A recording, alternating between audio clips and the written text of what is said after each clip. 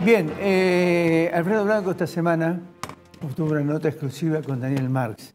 Daniel Marx, si usted lo recuerda, fue ex eh, presidente del Banco Central y jefe negociador de la deuda externa entre 1989 y 1993.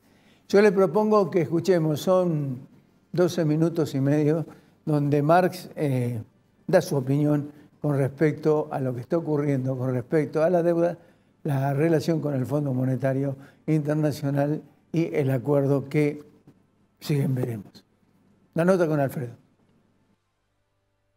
Marx ha sido director del Banco Central durante la gestión del presidente Alfonsín, ha sido secretario de, Finanzas, pero, pero, me interesa mucho también porque, además de lo académico, que es profesor de Finanzas Internacionales, el hecho de que fue negociador, jefe de negociaciones de la deuda externa argentina.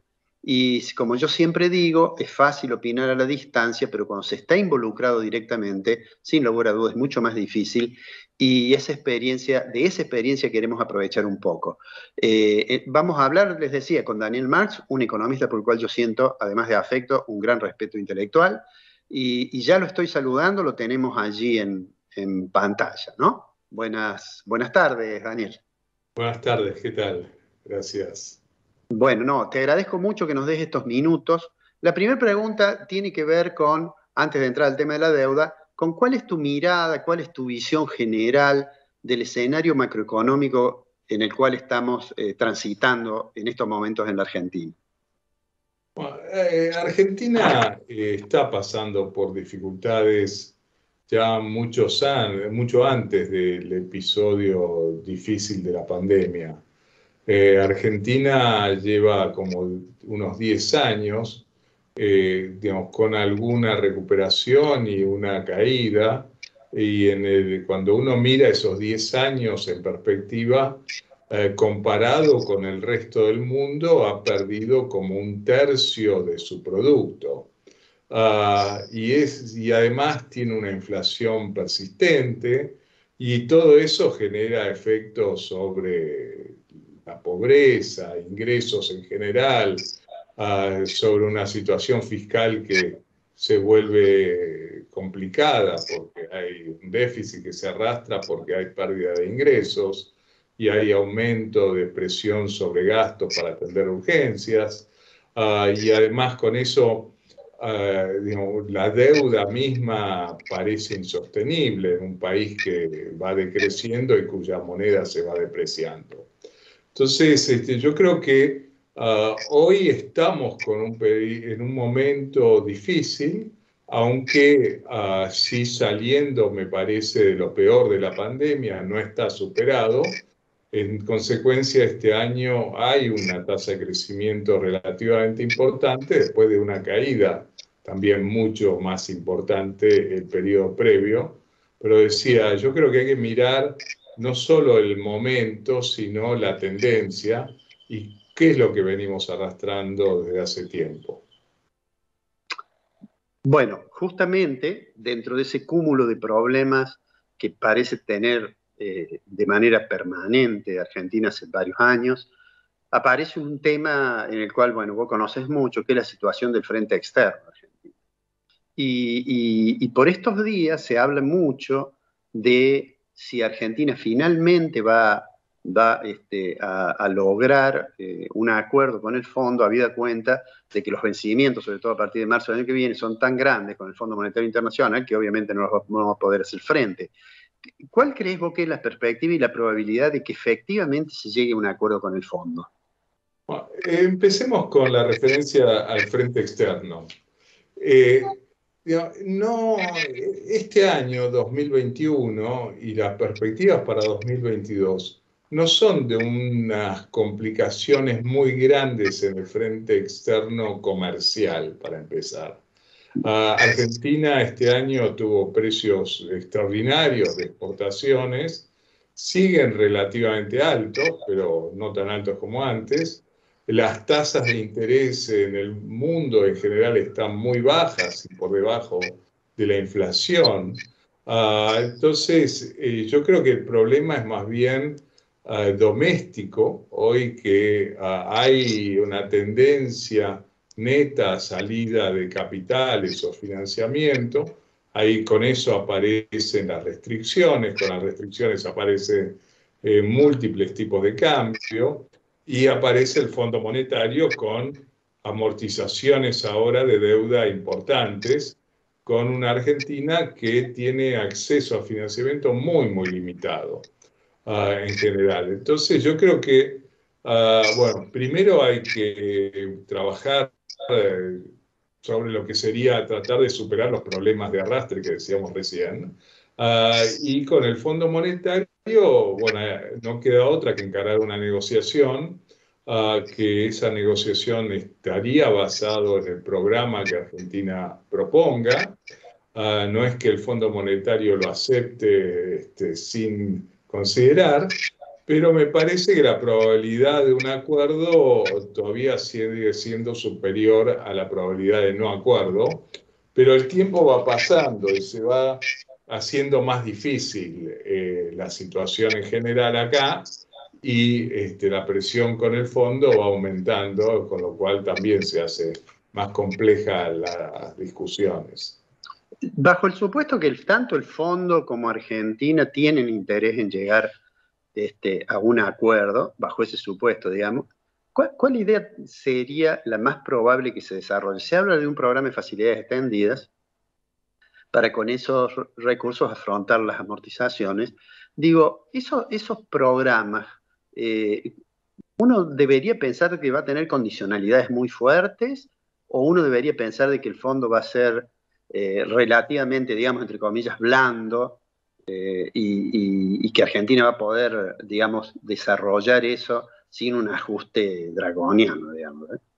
Ah, digamos, el programa de facilidades extendidas de por sí tiene condicionalidades, este, también un stand-by con el Fondo Monetario. Entonces, cuán fuerte o relajadas son esas metas acordadas en ese programa que implican eh, un cambio de situación, yo creo que todavía no sabemos, no van a ser las más restrictivas, tampoco van a ser las más holgadas. Que va a ser algo, digamos, ah, considerando la situación y las posibilidades, tanto locales como exteriores, pero eso tiene que ver también con Argentina generando un clima de inversiones. Entonces, en la medida que que haya un clima de inversiones, haya perspectivas de mejoras, de crecimiento y una estabilización de la moneda, eh, se hace mucho más fácil, porque ah, con eso hay, decía, crecimiento, hay la gente no tratando de salir del peso este, a, precios elevados, ah, y hay en consecuencia un círculo ya más virtuoso que se desarrolla. Si no, me parece que la alternativa es esta complicada, el ajuste todo hacia abajo y sin tener perspectivas favorables en el mediano plazo. Por eso parece que eh, existe la posibilidad de lo virtuoso, y, pero hay que armarlo también, ¿no? No es algo que el mismo fondo eh, pueda asegurar por sí mismo, es una cuestión más local en cuanto a las decisiones que hay que tomar.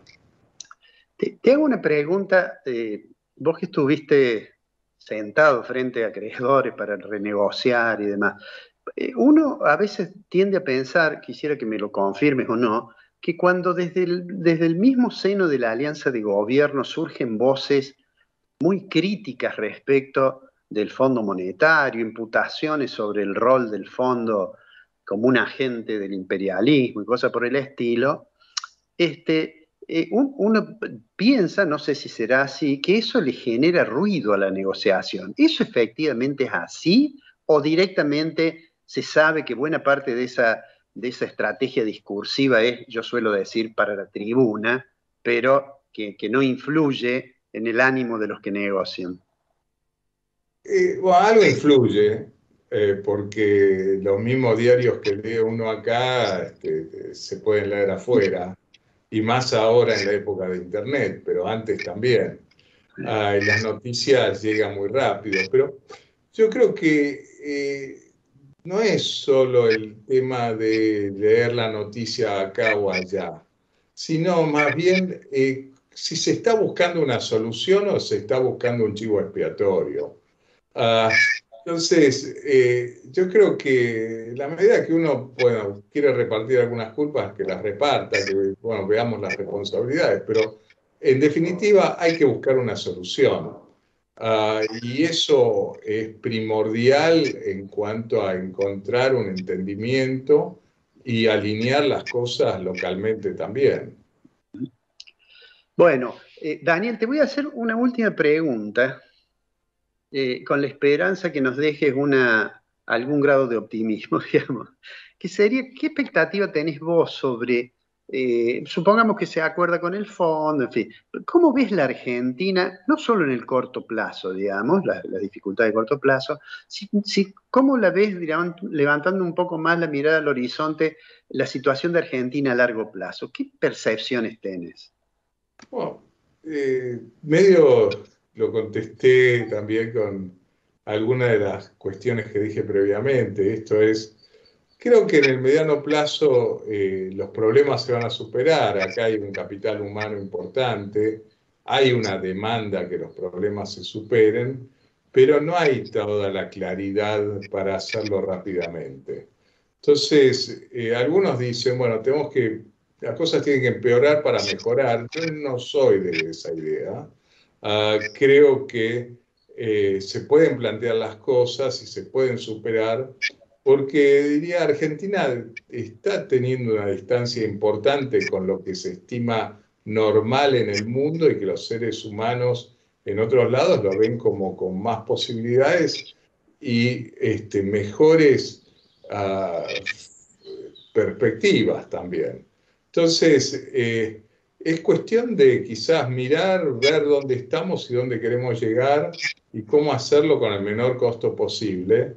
Ah, y ese planteo creo que va a venir, pero todavía nos falta llegar a eso. Bueno, Daniel, te agradezco muchísimo estos minutos porque sé que tenés una agenda bien complicada. Este, y seguramente cuando estés por Córdoba charlaremos un poco más personalmente. Eh, muchísimas gracias en nombre mío y de Ricardo Fonseca por habernos dado estos minutos. Eh, gracias, este, la verdad, eh, desde ya si paso por Córdoba, nos veremos. Un gusto, hasta pronto. Hasta luego. Bien, la nota exclusiva que conseguía Alfredo Blanco con Daniel Marx yo decía que era expresidente del Banco Central, no fue director del Banco Central, bien me lo señalaba este, Alfredo, eh, donde dejó cosas interesantes. En particular, la última pregunta de Alfredo, donde eh, despliega de alguna forma la orientación que tiene el país de cara, de cara al futuro. Es decir, va a ser mediano, va a ser duro, o sea, va a ser a largo plazo. La Argentina puede llegar a de alguna manera, a, concebir algún, alguna posibilidad futura de este, relanzar o de anudar la economía a un, a un plan estrictamente viable y compatible con la realidad. Vamos al corte, cuando regresemos, Alberto Ambrosio con nosotros.